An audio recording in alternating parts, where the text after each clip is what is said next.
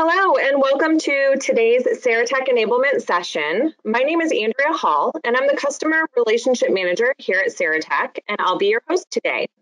Presenting today, we have Andrew Carlson, who is an applications engineer here at Saratech, and he'll be talking to you about Team Center document management.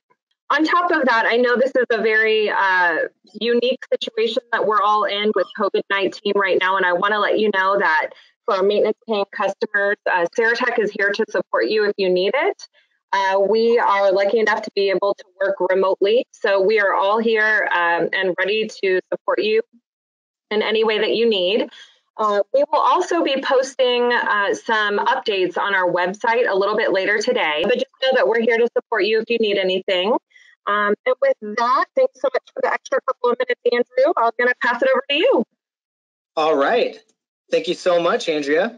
Uh, as Andrea mentioned, I'm Andrew Carlson. Um, I've been with Saratech for about the last seven months, working as an applications engineer, uh, specifically with Teamcenter. And I'm excited to go over some document management with you guys today. So the agenda is going to look a little bit like this. We're going to explain what document management is, some of the things that are appended to that as far as uh, different aspects that are involved with document management. We're then going to go into some applicable implementations, which I've set aside about three examples that we can look over in a real life setting and what those entail, how they would benefit a company, um, and really how other companies are using them uh, to streamline their processes with documents. I have a small demo in there as well. We'll look over a live um, demonstration for about three to five minutes uh, involving one of these examples. And then we're going to go into elements of document management what constitutes a, an installation for document management and really gets it to work for us. Um, this is more of an administrative side of things, but I think that it's going to be necessary and helpful for those They're going to be more on the administrative side and maybe installing or assembling some of these components. And then we're going to look at IRDCs, which I'll define later as well as now. Uh, it's an item revision definition configuration. And essentially, it's the brain, the heart and soul, the bread and butter of document management, and it controls the automation. Uh, and then we might have some time for some questions and answers. So what is document management? It's an automation of processes involving your documents and templates. So all companies have documents, templates, all this data that they have to transfer every day from computer to computer. A lot of times they get these files get lost. Uh, revision control isn't followed. Uh, there are problems with disorganization and clutter, and that leads to rework. It leads to different uh, time expenditures that didn't need to be uh, made. So document management helps with this. It can also lead to file rendering. If you configure file rendering, what that essentially does is it allows you to take a file format from say like a document to a PDF or something from a CAD to a JT. And for those that don't know what JT is, that's essentially just a universal 3D model that you can use from a CAD application to view any 3D model from any application.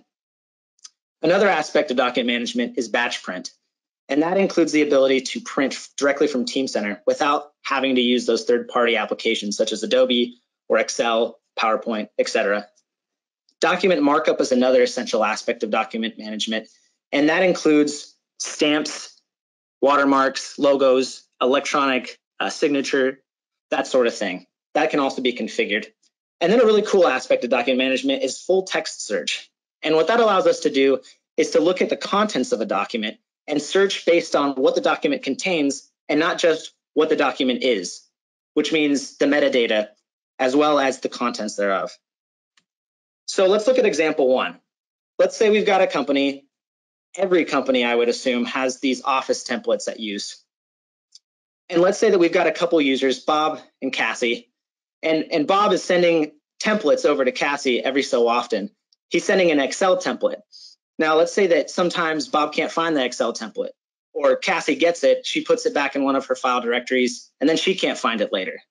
Or let's say that Cassie requests this template from Bob, and Bob gives her a, a, a revision that's out of date.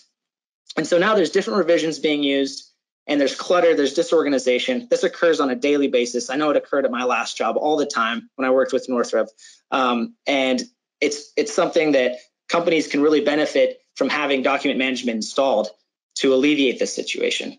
So I'm going to hop over into my internal sandbox and show a quick demo that helps demonstrate how this is implemented. So this is Active Workspace. It's kind of the user-friendly side of Teamcenter, if you haven't seen it before. And essentially, it's kind of got a Windows 8 feel to it. But if we go into our folders tab here, this is kind of like being on your home page in a Teamcenter Rich client. What we would do is essentially create a new part. And I'll demonstrate this here by making an item. It can be a part, an item. It can be configured for any of these. As you see, the standard behavior here is to add an ID and a revision for whatever part or item you're creating.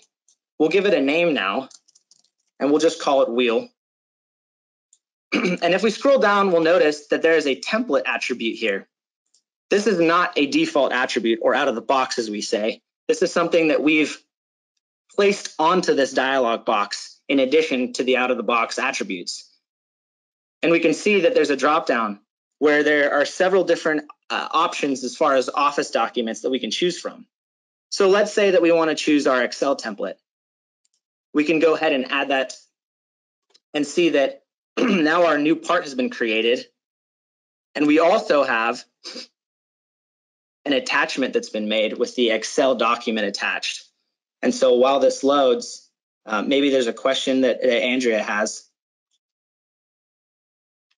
Hey, yes, sorry, I did just see that que that question pop up. Um, it says if I use the rich client instead of active workspace, how will the template drop down appear? Oh, that's a good question. Um, it'll be the same as in active workspace. There's a few different attributes that show up on the dialog box, but the template dropdown will be there just as it was in active workspace, and you'll be able to select any of those templates that you've uh, that you've implemented. And I'll show later how those are actually installed into the dialog box. Awesome. But as yes, yes. So as we see now, this Excel document has been attached, and we can open it and see what the contents are. I've taken a very uh, generic template for Excel and added it here. So you can make this, uh, you know, configure it however you'd like in a custom fashion. You can delete any of this. Uh, you can modify it. It can really appear as, as however you would like. Uh, so again, it's a very unique aspect of document management, allowing you to take full control of your templates and automate that process so that there isn't any disorganization, clutter, oh, and there's full revision control as well. So now I'm going to go back and hop into the presentation. And that was more of the user side of things. Now I'm going to talk a, a little bit more about the administrative side and what goes into creating what we just saw.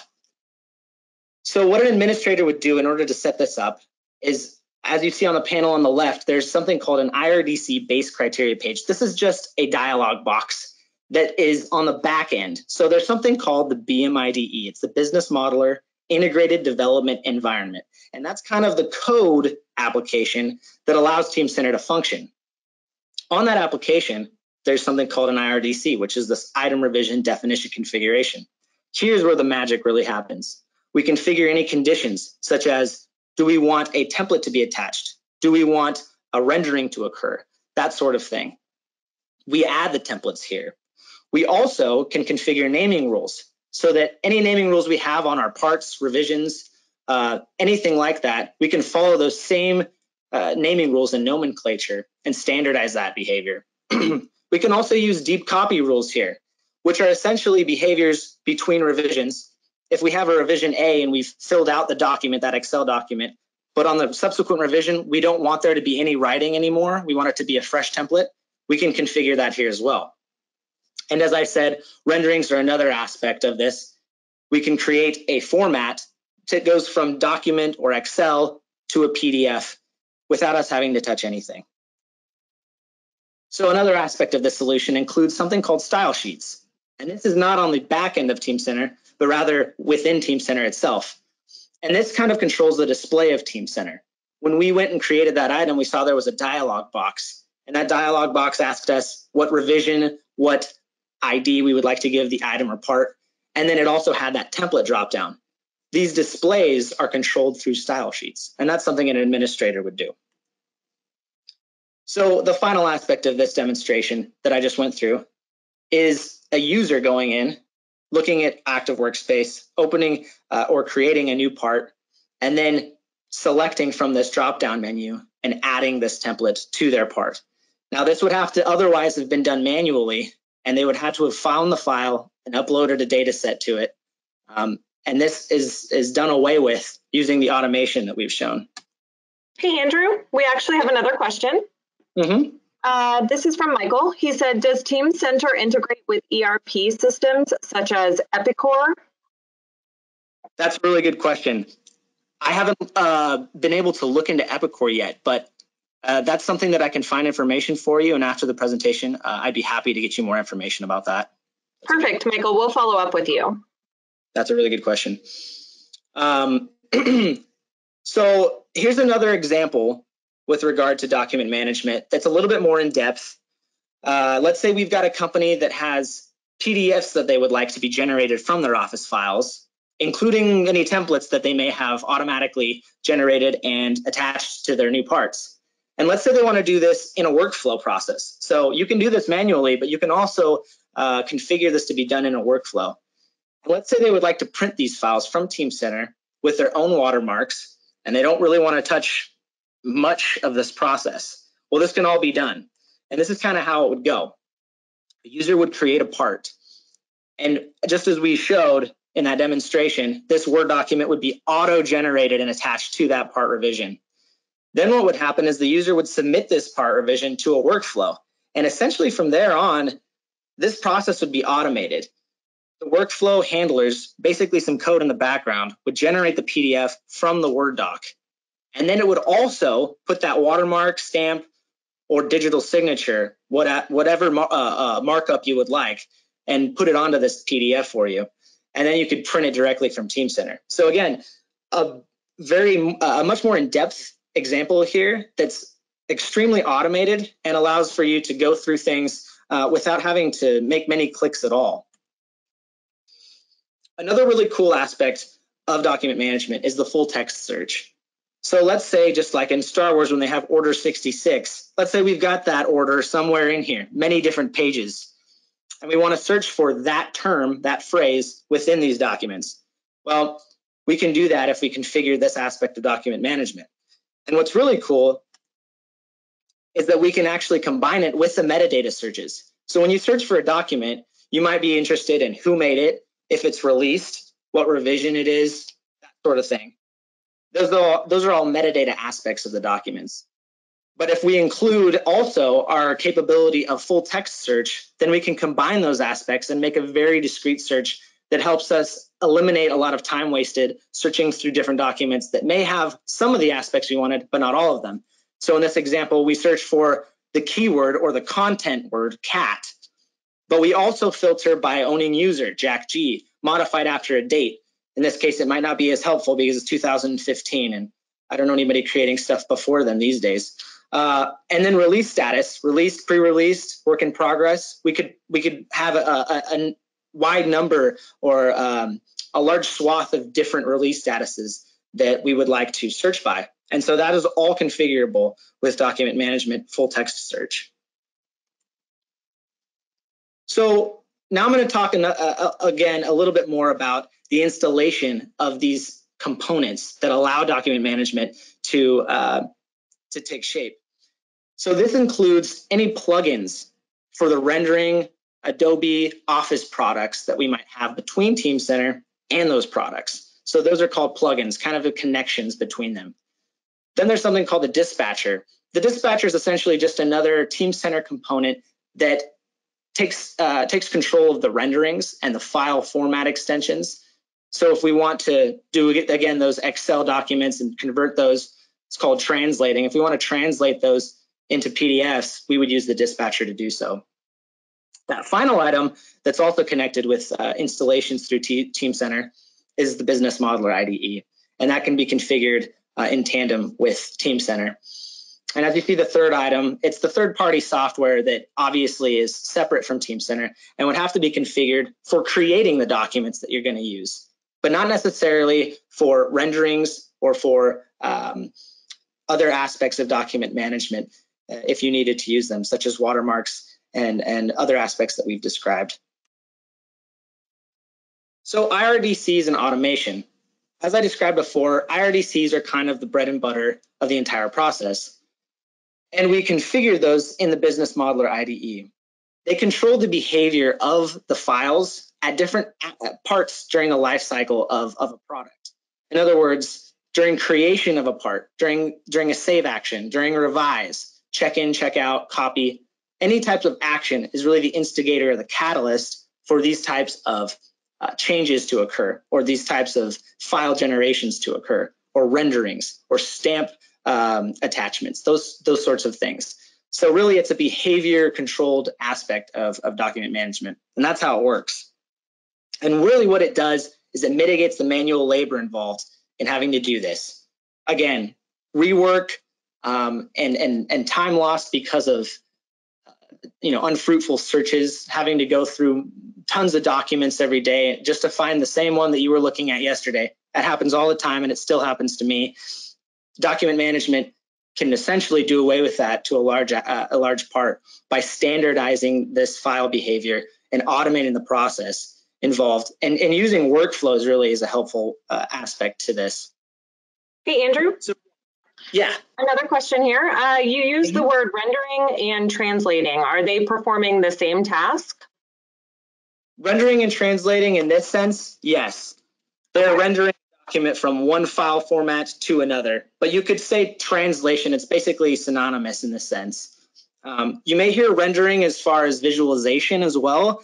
Uh, a lot of times that's that's another word used to say to visualize an object in Teamcenter, which is a little bit different because now you're saying I'm taking something that's just an attachment and now I'm looking at the real live display of it on Teamcenter. So that word can get a little bit um, confusing, uh, but that was a good question. In, in, this sense, yes, it's just file format to another file format. Okay, and one more question. Can I configure mm-hmm. a CAD file to be attached automatically instead of Office files? Absolutely. Yeah, there's there's no problem making a CAD file uh, the default attachment. You can you know you can attach many different Office files or CAD files um, to be the the automatic generated file for your part revision. So yeah, that's another good question. Um, so the the takeaway here is document management allows you to automate the behavior of your product, your your documents and your files at any moment in that cycle. So it allows the renderings or translations, as we described, of these files to different formats. And it allows you to, um, to utilize your templates, your custom templates, your watermarks, logos, and other aspects um, of your document behavior um, to really streamline the process for you, lessening the time that you need to search for these documents. And again, full text search really helps with this. Um, a couple of companies that we know use this and it's very helpful for them. Uh, and it eliminates rework, clutter, and lost time because of the standardization. So again, just kind of really nailing down why it's so so beneficial to have this in place. Uh, and a lot of companies that I know are are using this document management uh, basically to cut off all that that wasted time that is involved with uh, as I described before, losing documents and uh, having revision control over them. So with that, that was essentially all that I had prepared on document management. Thanks so much. Everyone stay safe and stay healthy. And uh, please reach out if we can do anything for you during this time. Thanks. Bye-bye. Thanks for checking out our channel. If you like what you saw, make sure to like and subscribe down below so you don't miss out on any new videos. Follow us on LinkedIn, Facebook, and Twitter for the latest engineering news and information. And to see all of our upcoming events, please visit our website at saratech.com/events.